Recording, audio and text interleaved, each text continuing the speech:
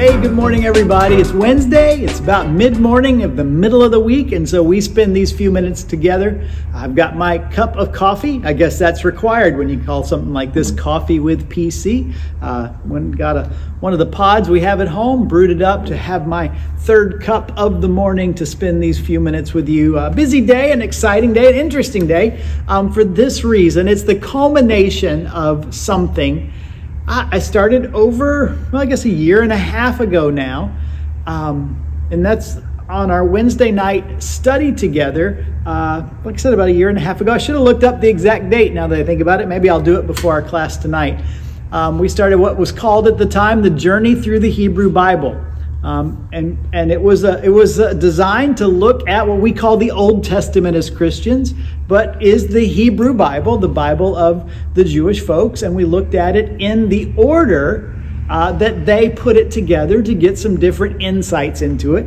And I had just a great time doing that. Uh, went through the Hebrew Bible. It took 40 sessions or 40 weeks to do that. Now, 40, that's a good biblical number when you think about it. And so it was kind of apropos that it ended after 40 weeks. And what we did after a time of introduction, four or five weeks of that, we looked at every one of those books in the Hebrew Bible over the course of the next 40 or so weeks. And, and I, like I said, I've enjoyed it as much as anything I've done as far as personal study and preparation.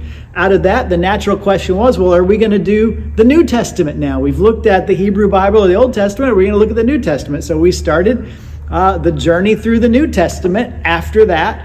And tonight is the 30th of those sessions, the journey through the New Testament. We looked at the beginning uh, uh, four or five weeks, again, introductory before we got into the actual content, the books of the New Testament. And tonight is the 30th of this session. So the 30th week, so 40 plus 30 equals 70. 7 and 10, two good biblical numbers of completeness. So 70 sessions a journey through the Hebrew Bible, and now a journey through the New Testament, con- concluding tonight. And, you know, thinking about it, uh, it's been.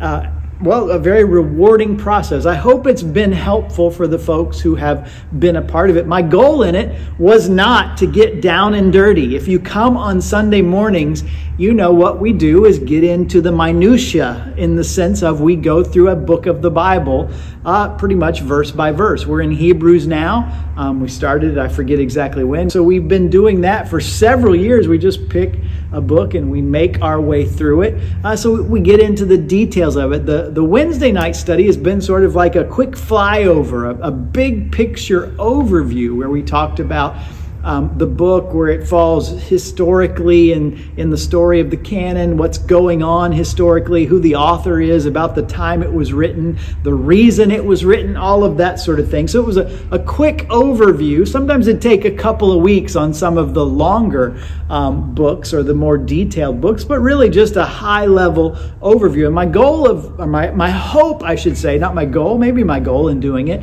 was that the folks that were a part of that would whenever they picked up the scriptures, whenever they picked up the Bible to read it, they would have sort of a framework upon which to hang what they were reading. So if you were reading in, in, the Hebrew Bible, maybe in, in one of the prophets, you would have this background of where does that fit in, in the overview and, and what's going on. Oh, I'm in Isaiah. Oh, that's right. We're, we're talking about exile that's coming up. And why did Isaiah write? And what did he have to say? And what was he trying to, to do? Or, or you maybe get into the historical books. Oh, we're in Judges, all of these stories of different people. What's going on there? Oh, that's after they've come into the promised land, but before there's a king. And what's it trying to tell us? And, and, and so I hope it was helpful in that way and, and looking at all of the books that way. I know, as I said, it was helpful for me. So it's that framework, it's that that that structure, that skeleton, if you were, to call it that you can hang your, your, your view and, and, and understanding of the scriptures on. I tried to look at at times things from a different point of view as well, a typical point of view we don't get when we just pick it up and, and read or read the brief introduction that might be in a Bible saying what this book is covering or what this section is covering. And, and I really enjoyed it. And here's, here's my takeaway. I said it a lot at the beginning. I said it a lot as we went through um, the, the Hebrew Bible together, the Old Testament together. A great reminder for all of us all the time what is the Bible about? Well, the Bible's about God. Th- that's what the Bible's about.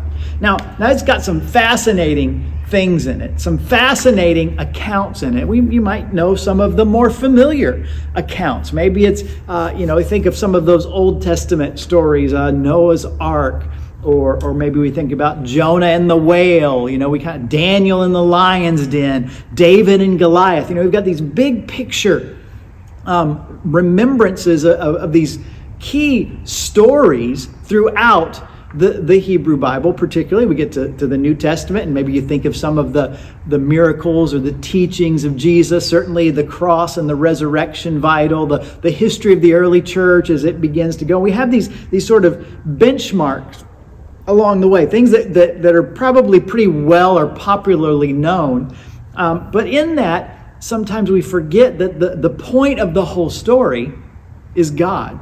That the Bible is God's revelation of Himself, and the reason He gave it to us was so that we would know Him or know about Him so that we could come to know Him. So, when, for instance, we read the story of Noah and the ark, the story isn't making a hero isn't designed, I should say, to make a hero out of Noah. The story is designed to see Noah's life and what it teaches us about God. And so, what happens sometimes, and maybe it's our, our modern way of looking at things, the, the, the undercurrent of, of do it yourself or self help culture that, that's so uh, much a part of how we think, that, that we have so much access to learning and, and doing things, that, that we read a story and, and we want to find the lesson in it for us.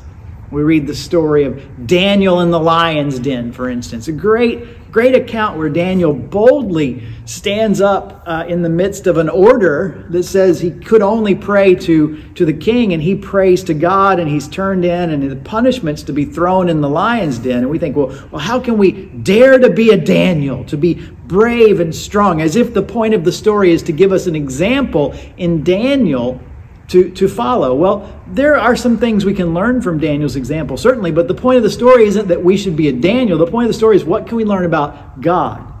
The Bible, at its core, is ultimately about God. Uh, let me put another thread to this thing, maybe uh, something that, that you are familiar with, a person, I should say, that you're familiar with, and that's Pastor Tim Keller. Um, he was pastor at Redeemer Presbyterian Church most recently in New York City.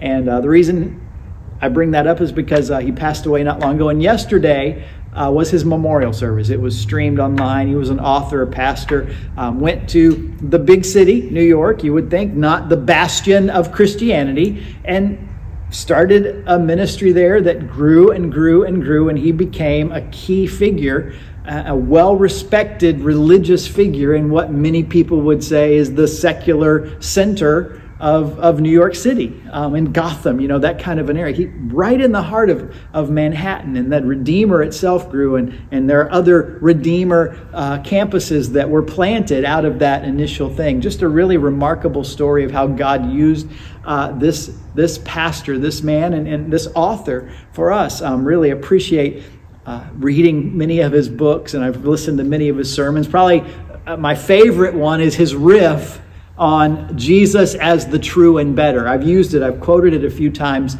in, in Scripture where he points out, you know, Jesus is the true and better Adam, Jesus is the true and better Abel, Jesus is the true and better Joseph, Jesus is the true and better Jonah or Daniel or Noah. All of these characters that, that are the heroes that we, we elevate and want to emulate and learn the lessons from, he reminds us in that riff that, that the point of their lives wasn't them it was ultimately God revealing himself and God revealing himself finally in Jesus, that all of them pointed us beyond themselves. And so, so the Bible ultimately becomes a book about God. And, and that's, that's a very important thing to remember when we pick up the Bible. It's not a self help book.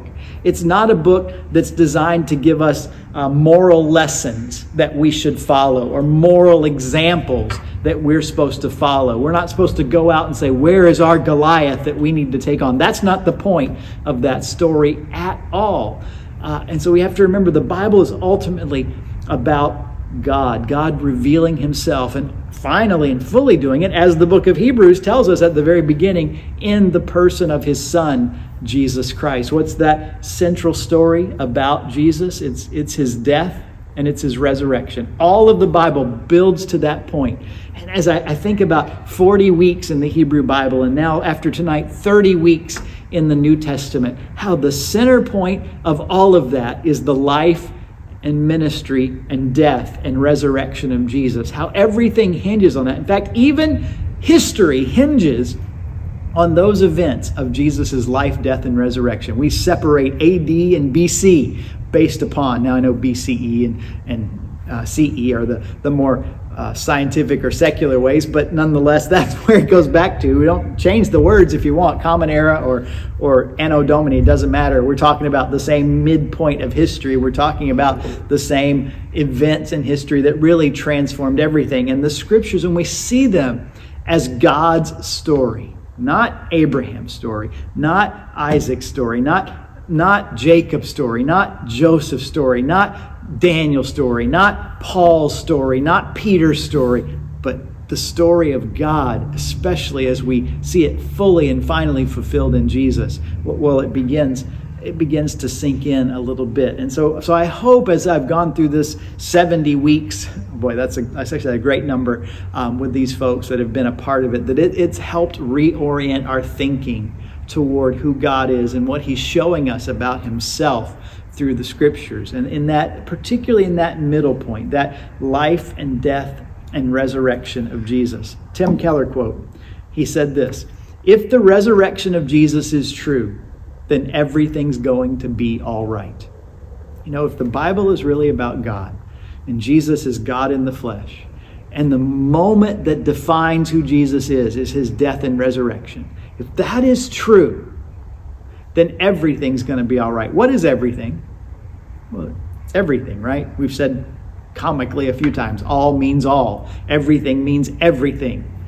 Everything's going to be all right. Yes, the, there's lots of good that we experience in life, but sometimes there's lots of bad, like in this case for, for Tim Keller's family, his loss. Because if the resurrection is true, everything's going to be all right. I hope you know that.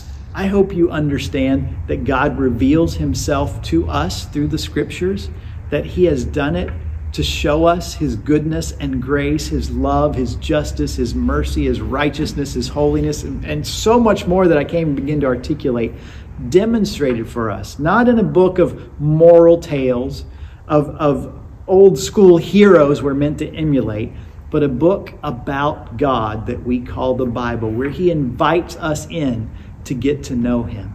That's the biggest framework of, of the, the skeleton that we could put together, that that's what the scriptures are about. And I hope in that you've come to know that because of who Jesus is, because of what he did by his death and resurrection, if the resurrection is true, everything's going to be all right. I don't know what's going on with you today. I don't know what, what waits any of us tomorrow.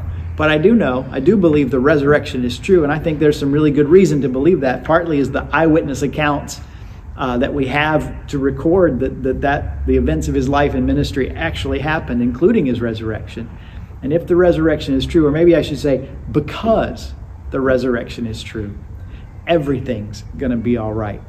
When we come to know God as he reveals himself through his word, it is a remarkable sense that we get that he is, in fact, in control, even when life seems out of control we learn to trust Him and follow Him. That's what I've learned a little bit more going through this 70 weeks of preparation and study. Probably got more out of it than anybody who sat through, if they sat through all 70 after tonight of the classes.